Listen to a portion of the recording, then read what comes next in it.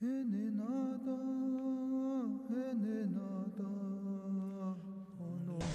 great evil, in my humble opinion, which haunts our enterprise, and I say this realizing I'm setting the fox among the chickens, the great evil that has been allowed to flourish in the absence of mathematical understanding is relativism.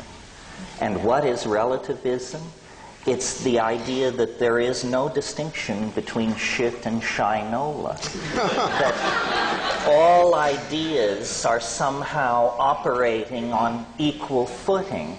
So one person is a chaos theorist, Another is uh, a follower of the revelations of this or that New Age guru. Someone else is channeling information from the Pleiades. And we have been taught that political correctness demands that we treat all these things with equal weight because we have no mathematical ability, no logical ability, we don't know how to ask the questions that expose some positions as preposterous, trivial, insulting to the intelligence, and unworthy of repetition.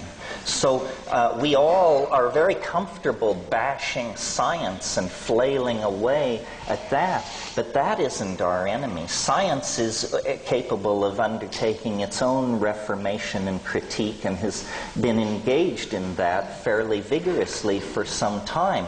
Uh, the enemy that will really subvert the enterprise of building a world based on clarity is the belief that we cannot point out the pernicious forms of idiocy that flourish in our own community. And this problem is going growing worse all the time. I mean, just pick up a copy of Magical Blend or Shaman's Drum, and you will discover an appeal to the level of intellect that makes what's going on with television advertising look like a meeting of the Princeton Institute of Advanced Study. Uh, we have tolerated too many loose heads in our uh, community.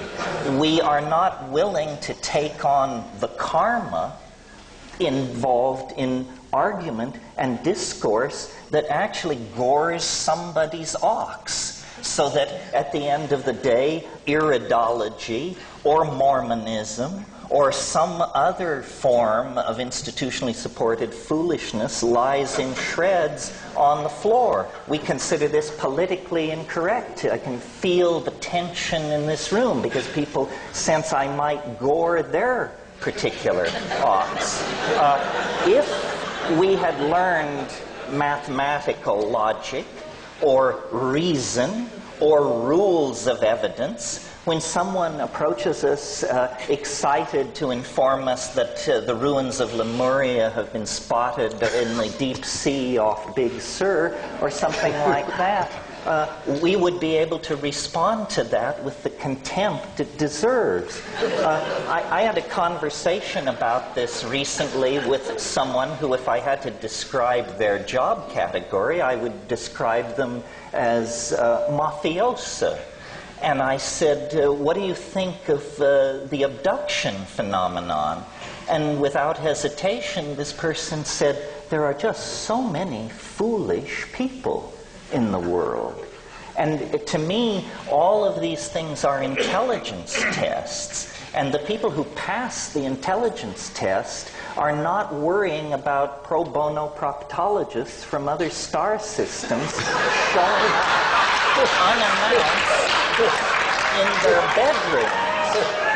So, uh, you know, we, we have perfected politeness we have perfected the ability to listen to damn foolishness without betraying by so much as the flick of an eyebrow that we realize what we're in the presence in of.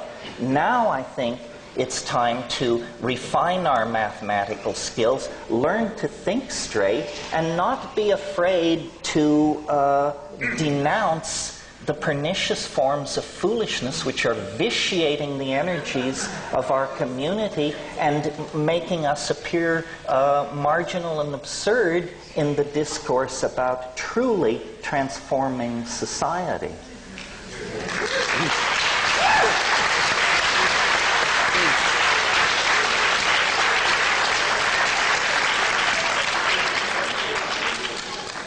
Hmm. Well, I can't wait to see this laboratory of clarity unfold before me tonight. As well, as all nonsense has dispelled. the scalpel of reason is, is, is brought out by Terence.